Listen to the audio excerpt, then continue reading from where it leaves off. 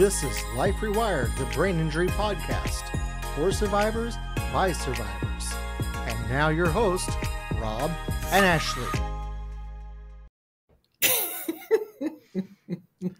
Hi, and welcome to Life Rewired. And my set just fell before me. I don't know what that crash was, and thankfully the people at home didn't hear that. But Rene got a good giggle out of that. Rene is our our guest today. Hi, Rene. Hi, Rob. Before we begin, I want to encourage our viewers because I always forget to do this. I'm the worst YouTuber ever. If you would be so kind to just subscribe to the channel and click that like button, that helps us out more than you know. That helps get this channel visible to other people who need to hear this content. So if you would just do that, we would very much appreciate it. Today we're talking with Rene Ready, and I have known Rene for gosh, it's getting close to a year now, I think. But uh, Rene, I'm sorry, Rob, well, but time's not my thing. do, you, do you act like you have a brain injury or something? Yes, you would probably think that. Yes. Well, well, thank you for inviting me, Rob. I've been looking forward to it. I've been watching all your um, episodes. Um, I think it's really a good thing to hear what other people with brain injuries say and the stuff that they go through because uh, that way you don't feel so alone. Because if you talk to just regular people, they don't understand. No, they do not. And they do kind of try and squash it you know, squash the conversation. And a lot of them seem to be experts on brain injuries. Have you noticed that? Mm-hmm. yeah, I had somebody tell me not too long ago, oh no, you can't go on a road trip because that is way too remote and you don't have cell phone coverage. And I was like, what's me? you can't tell Rene what to do. the only person that gets to tell me what and what not is my husband. And I can probably remember That's... three times since I know him 15 years that he told me no. Your husband's very supportive, and I appreciate that. Yes. You know, the, the thing about him that I really like is he doesn't treat me like um like I'm Disabled. of lesser value. Yeah. Um for my previous trip I had to move the attachment point for the strap that holds the water can in position. I had to move it back two inches to make more room for the sleeping bag. Can you believe that two inches makes a difference? But it did.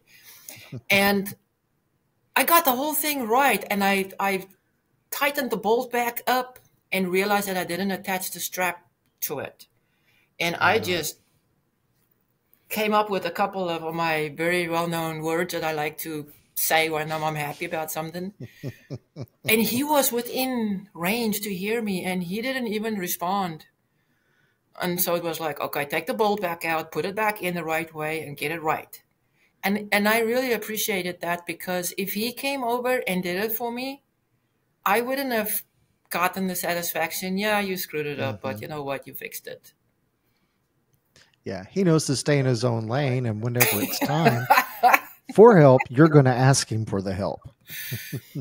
yes, and he does know that by the time I show up and say, I can't find my shoes, or have you seen this or that, or I can't get this right, or the lawnmower won't start, you know, by the time mm-hmm. I come and actually say these things, don't give me directions. Just come on over and help me because that Just is help. what I want. Yeah.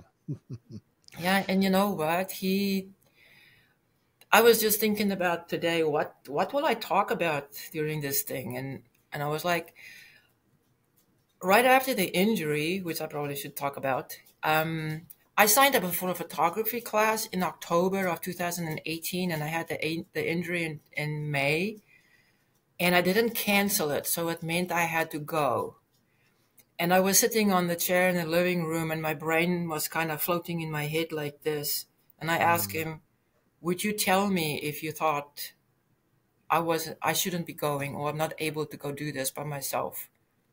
And I'm a yes no kind of person. and he just looked at me and he said, "You can always come home." And I Oh, was isn't like, that wonderful? "Yes," because I was expecting, "Yes, you're good," or "No, I don't think you can do it," and then was like, "Well, you can always come home."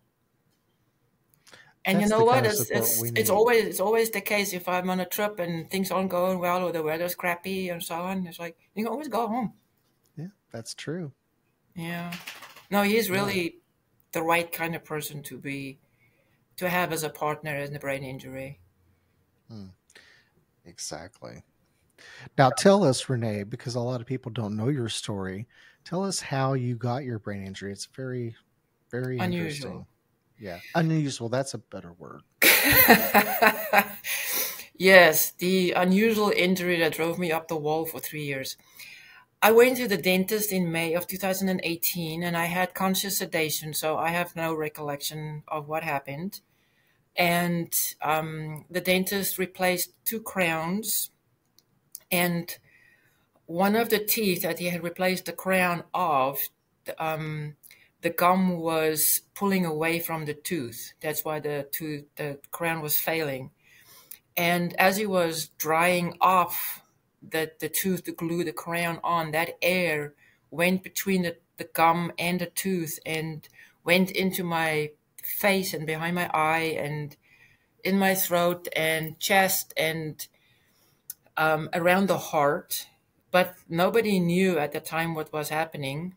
Um, my husband brought me home, and around about four o'clock in the afternoon, I was kind of getting a little bit more aware of what's going on. And I was like, so I came downstairs and I said, Well, why do I look like this? I look like somebody beat me up. And he said, Oh, they thought you're allergic to latex. And I was like, Well, that's news to me. Okay. Wow.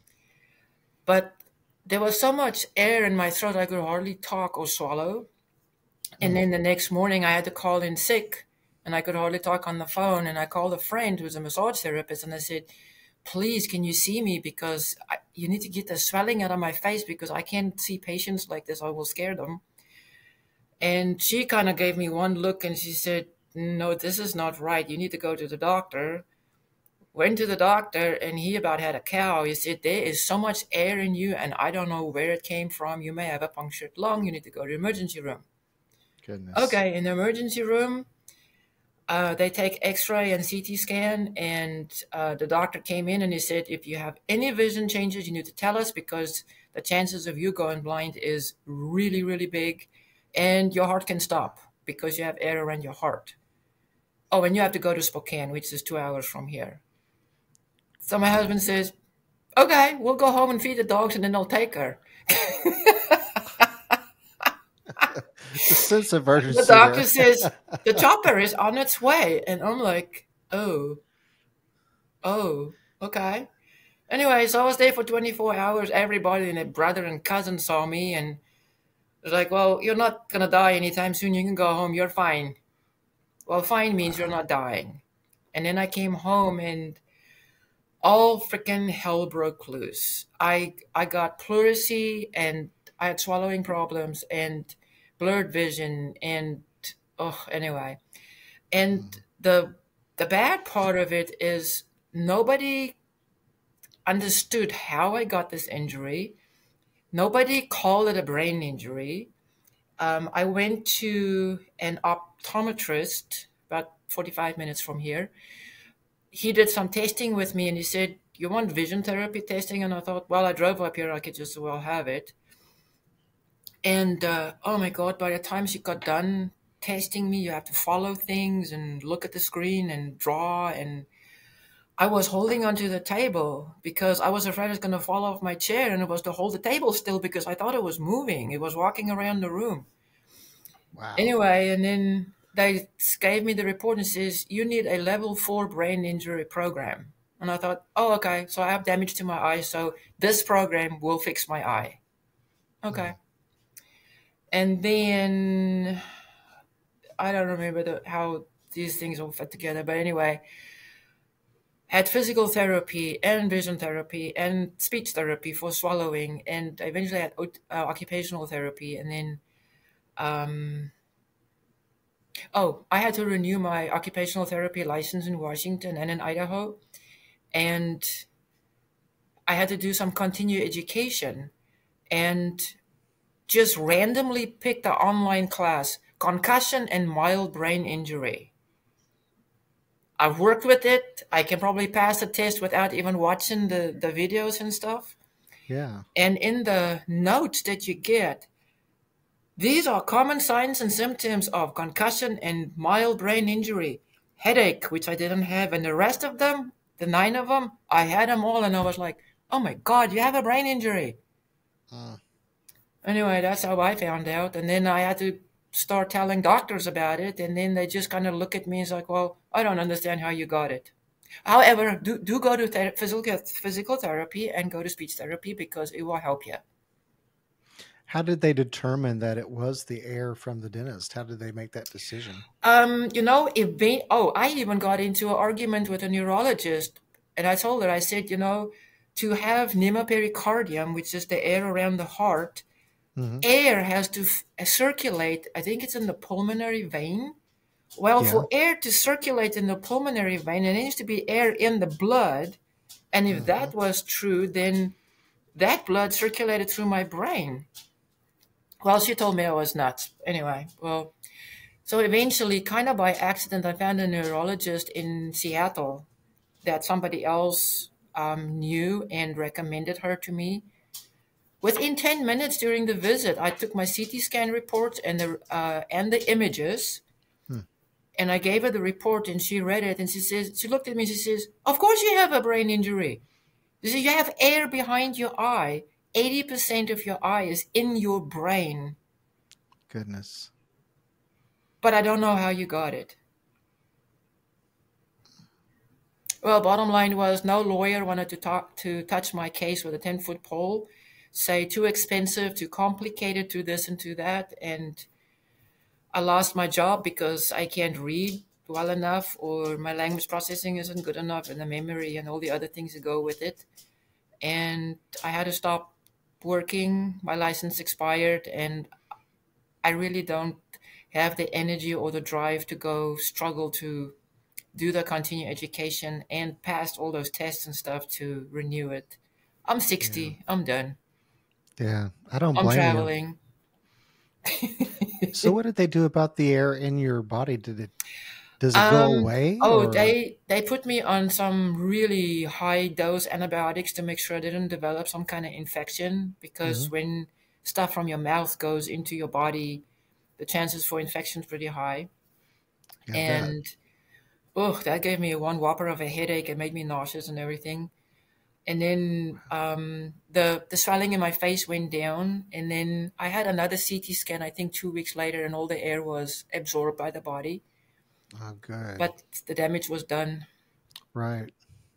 anyway. That's so sad. But look at you now, though. Yeah, you, you know, okay, I gotta tell you, for a living, I work for home health, which meant I moved from house to house eight times a day to go work with patients. And for me to stay home after this, for me was pure torture because I was used to go, go, go, go, go. And um, when you work for home health, you're pretty much on your own. You like have a meeting every other week. You only call the office when you need something or they ask you something, you call them back. So it was a independent job. And having to stay home after that was really, really torturous until I went to the to a photography class on the Olympic Peninsula, went via Seattle. What the hell was I thinking? That was before I knew about all this stuff. Um, and I was, I think in Port Angeles, I pulled off the road and I was crying. I was so overwhelmed and so exhausted, and it was raining and the wipers were going. And Ugh. anyway, guess what? I wanted to go home and I wanted to just stay home. but you know what? Um, even with all the knowledge that I had as an OT and all the people I worked with, living it is different than watching it. And Isn't it? that overload thing, man, that was news to me. I knew about it, but I had no idea how hard it was. Yes. And how little it takes to get overloaded. Yes. Um, the advantage of traveling in a minivan with a bed and a fridge, you just park wherever you feel like it and say, I'm done. I'm taking a nap. And if you wake So up in the tell everyone why you do that. yeah, it's like in the morning you wake up and it's like, I'm tired. I don't feel like driving. Just hang out.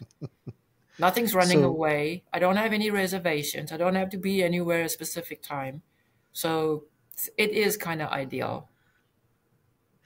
now, whenever you started taking these trips, had you already been taking these trips before your brain injury or No, no, I work like a crazy person. I don't know when to stop.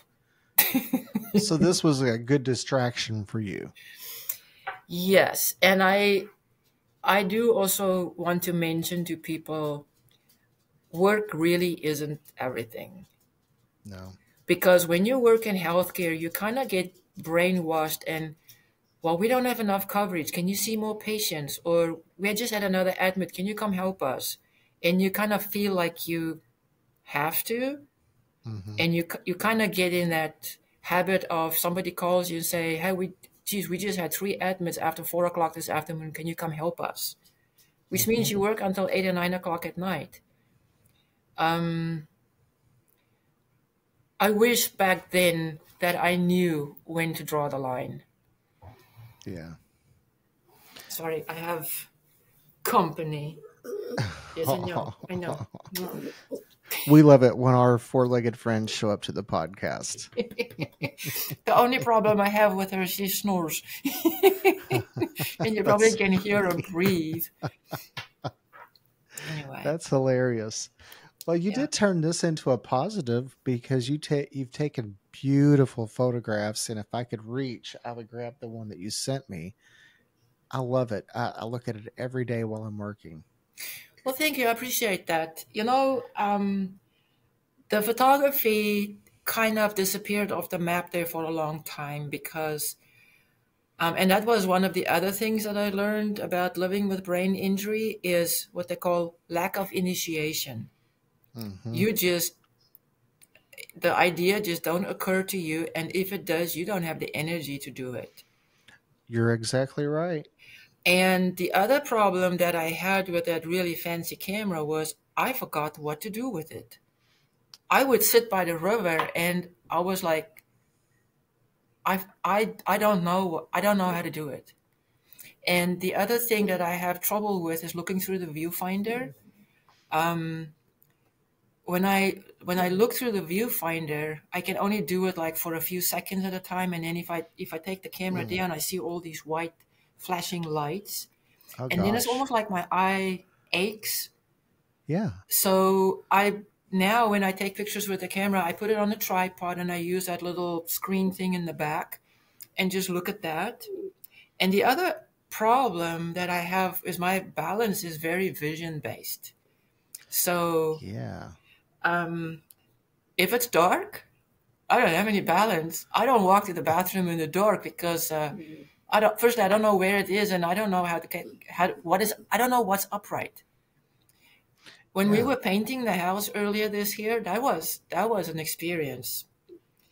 Okay, hmm so instead of having a ladder like this, I would put it against the wall like this. And the third rung was about as much as I could do because if I climbed higher, which I tried, your face is about this far from the wall. And then I had no stinking clue what is going on. And I felt like I'm going to fall off. So that Yeah. was kind of scary. Um, And you get disoriented easily like that. Yes, you know, there's a there's a test that some of the PT offices do. It's called the platform test. You stand on a hmm platform with, with your bare feet, and then you you're in front of this curved gray wall, and there's no information on the wall. So you're basically it it pretty much feels like being in space, but there are no stars. And then Gotcha. there there are four um, eight conditions. Four of them eyes open, four of them eyes closed. Two of them the platform moves. Two of them the wall moves, and some Oh of them my. They both move. And then you stand in a harness um, because you will fall off. I did. I would have. I flunked that test so bad, my score didn't even make it onto the paper. I think I got Oh, zero zero percent for that test. Um, oh, and it also determined that my center of gravity is behind my heels, which is a very which is a very interesting um, complication because Yeah. and the first time this happened, my poor husband, I was out in the garden and he came to say good night and he walked up to me and as he was coming towards me of he's taller than i am he was in my face. Well he was coming towards me well guess where i went? That way. So i grabbed him Oh, by no. the shirt. Oh no. the poor man has chest hair. Yes that was bad. Anyway so now when he approaches me he will take me by the arm and I take him by the pocket so that when he lets go of me, that I don't start backing up and fall over something. God forbid I fall over a dog. Anyway, yeah. But see, that's great that you guys worked through that and you Yeah. came up with a solution. I just told somebody earlier today, you have to train the people around you when you have a brain injury. You do. Um, he he doesn't buy me birthday cards anymore. He writes me one in 14 font double space Arial so I can read it. Because a lot of these cards have cursive writing in them and I can't read that.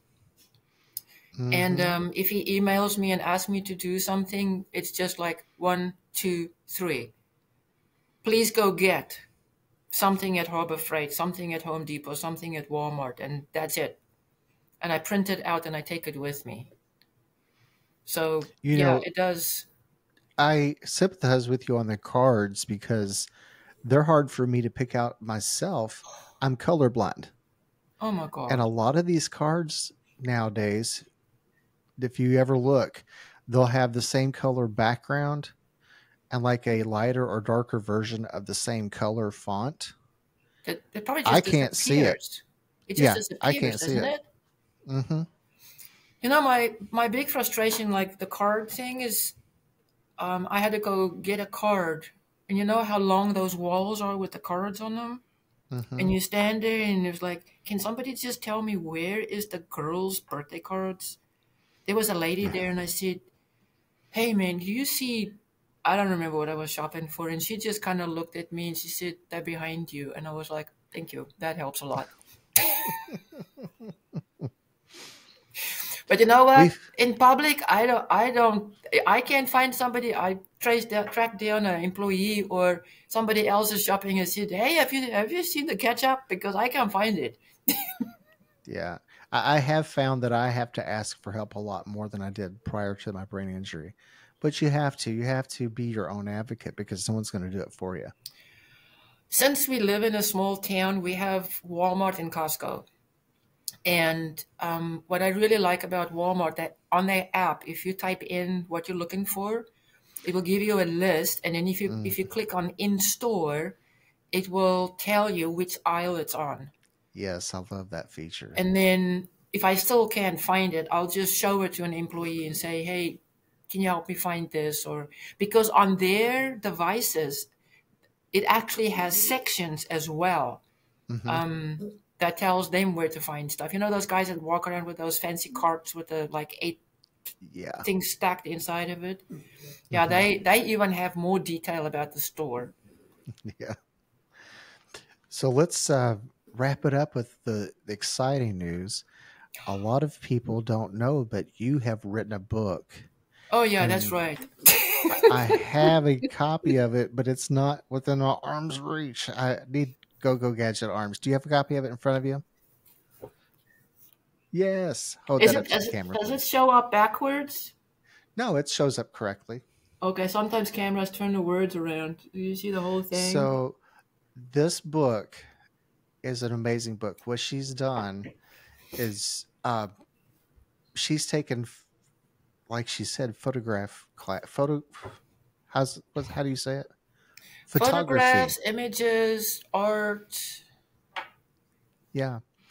So she's put that to the paper and she describes to her to well rene you you tell it you tell it better than i can it's your book okay i'll tell you how i'll tell you how this started kind of by accident um, my husband writes he has published like six books and right after the injury there was a conference in our hometown and i went with him by lack of doing something else because we were going to stay in a hotel so we didn't have to drive up and down and got to know the other people in the group. And one of the ladies said, Honey, you got to stop sitting on the couch and come sit at the table.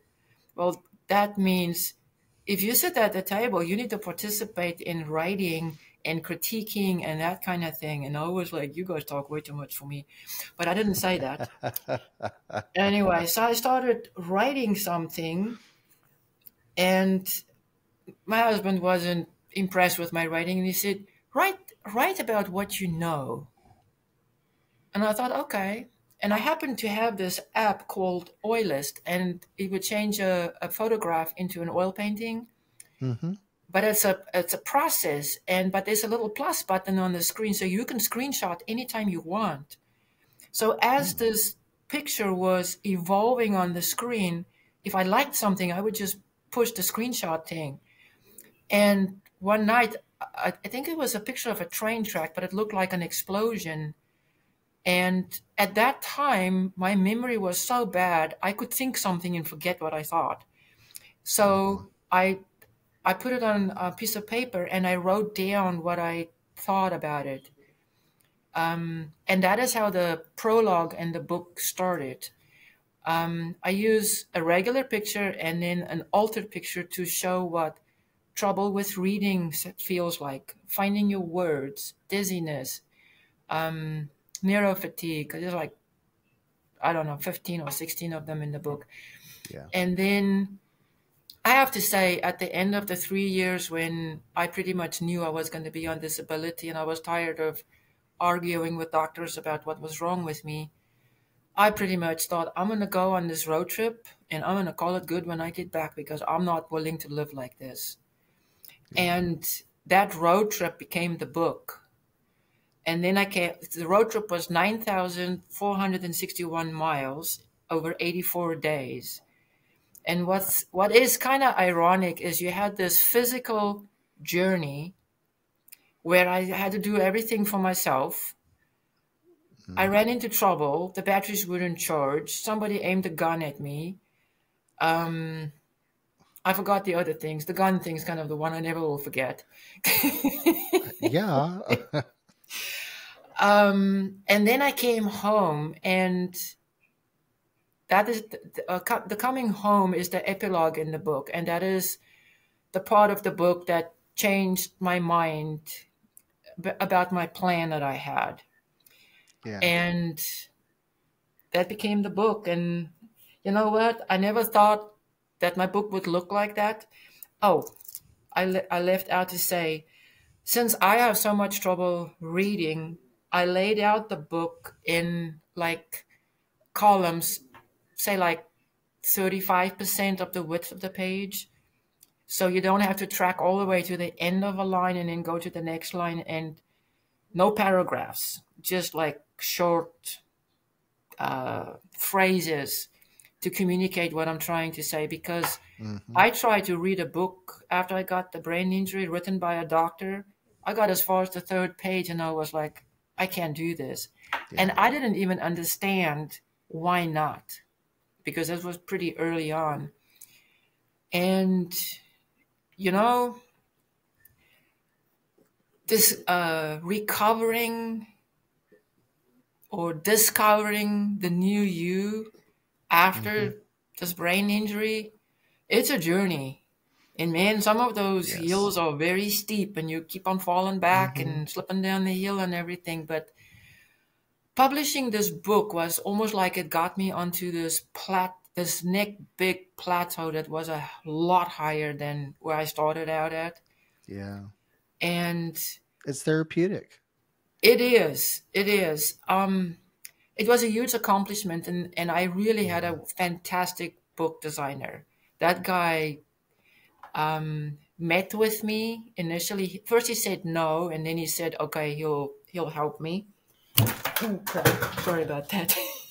You're fine. Dog just took the mouse with her, not the real, the computer mouse. Um, and I told him, I said, I have approached companies to lay out the book for me, and they you cannot talk to anybody in real life. You have to email and text. And I was like, I have expressive language problems. I try and communicate what I want, and then the other person that reads it, they don't get it at all, and it's super frustrating. So, mm-hmm. and he doesn't live too far away, and we met quite a few times and talked about the the inside of the book, and I thought he did a great job, and he really um, used my initial layout. He just made it look professional, um, which I thought he did a great job with. Yeah, I like how you laid the book out. It's it's easy to read the book, and that's what get that, fatigued. Yes, that is what I wanted because I realized that if there are other people like me walking around on the planet, we are not mm. going to read conventional books. Right. But yeah, I love how you laid it out. It's easy read and and the pictures. You you just have a very good act for being very descriptive as to what it feels like. Well, thank, so thank you. you so I want to tell you something that. about those pictures, though. Out of that 406 pictures in the book, eight of them are camera pictures. The others are all cell phone pictures. Isn't that amazing? Cell phones nowadays are so good, and and you know what? If you get your composition right and your lighting and your everything, just push the button, and you can always go tweak it a little bit in Apple Photos or whatever's on my iPad. Yeah. Um, yeah, I love it.